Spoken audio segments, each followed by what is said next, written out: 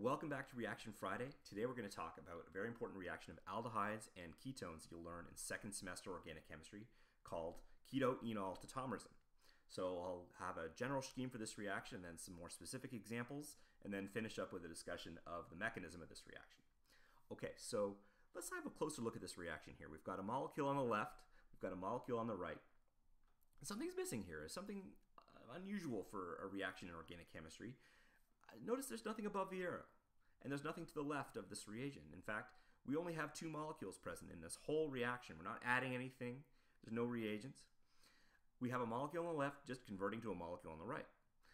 And what's interesting about this is this molecule on the left, if you count the atoms that you have, and you look at the molecule on the right and you count the atoms that it have, you realize that they'll actually have the same molecular formula. That is, that they are isomers of each other.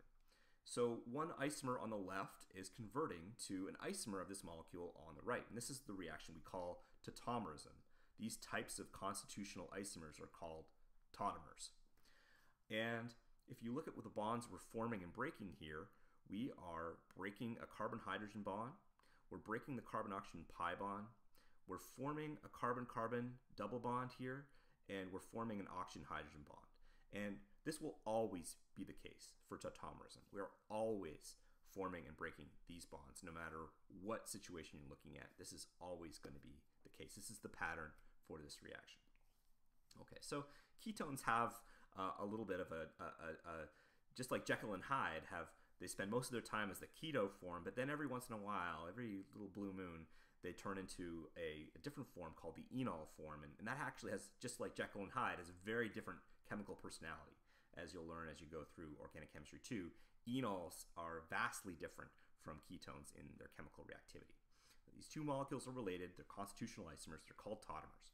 So we'll just go through some more examples of, of how this works and give you some specific examples so you can see some of the factors which favor the enol form or disfavor it, uh, depending on the situation.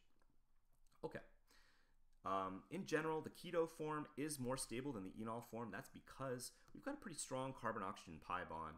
Um, in general, you look at most keto form favoring the enol form in the vicinity of 5,000 to 1. So for every one equivalent of enol, you got about 5,000 molecules of, of the keto form.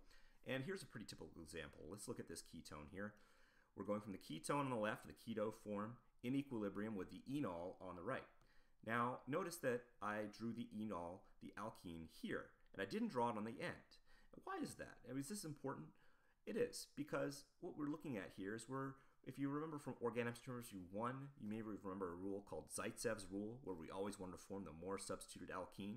Well, our alkene here from the enol is uh, just like an, al an alkene from Zaitsev's rule, going to be more thermodynamically stable the more carbon atoms are actually attached to it. So we always want to favor formation of the more substituted enol, just like we'd favor formation of the more substituted alkene in an elimination reaction.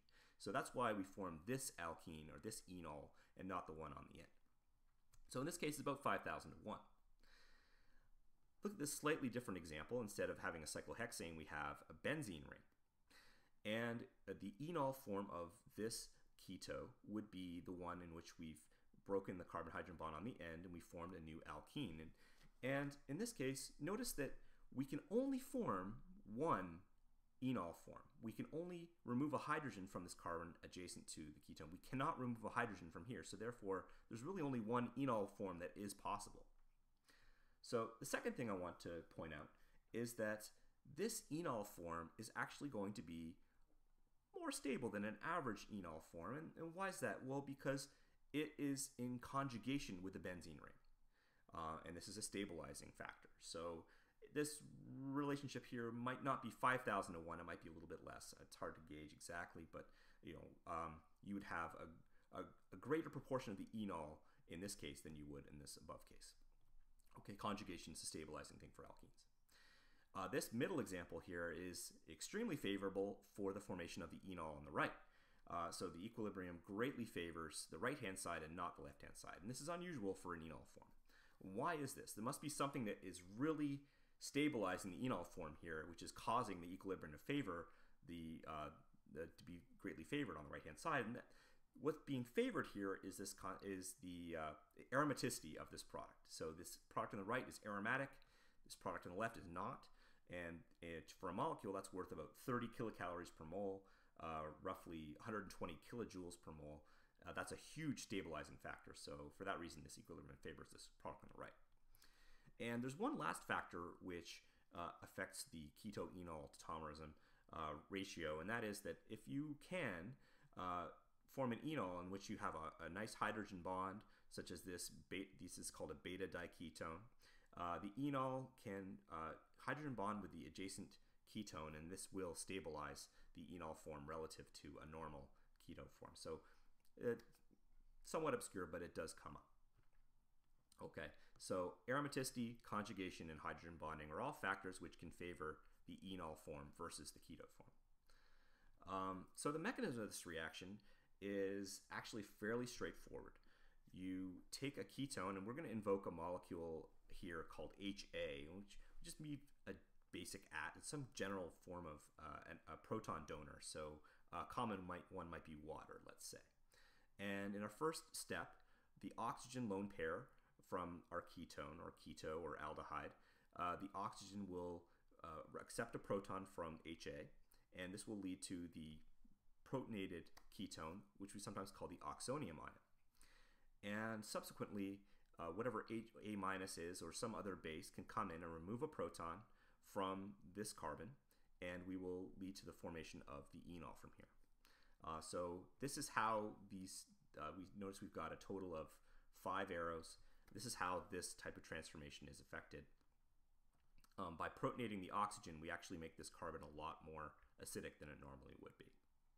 And the reverse of this reaction, you would have the double bond attacking HA being protonated and uh, going through here and then deprotonating it back to give the neutral ketone. So it would happen exactly in reverse as it did in the forward case. Okay, so um, HA here, like I said, could be water or some other kind of, ac of uh, acid that's added, such as uh, sulfuric acid or HCl. The rate of this tautomerism is greatly increased as you add strong acid, since you're going to increase the uh, acidity of the alpha carbon when you protonate the oxygen. There's one last little pitfall to be aware of of, of why, um, you know, how to draw the mechanism of this reaction, and, and this is very important. It's very important not to draw the mechanism of tautomerism like this. Um, and you see how we've got the ketone oxygen is just ripping a proton off of the adjacent carbon and we're forming an alkene. Um, it's very important not to show this because if you actually were to draw or make a model of the ketone, you'd see that the orbitals uh, and the geometry for this reaction actually don't make sense. Um, the p orbitals forming this alkene are pointing out of the page, okay, and that's what this carbon-hydrogen bond, which is in the plane of the page, is supposed to turn into a pi bond, and, and they're actually oriented 90 degrees to each other. So this is not correct. If, if you see this drawn, um, make sure that you uh, familiarize yourself with this different mechanism. Okay, so this this uh, was not actually about the reactions of ketones and enols, but it was just about how they're formed and um, and some of the factors which favor them or disfavor them. So that's all I had to say about this particular reaction. But if there's something I've missed or something you'd like to comment on or, or need further detail on, I welcome you to leave a comment. Thank you very much for watching, and uh, until next time.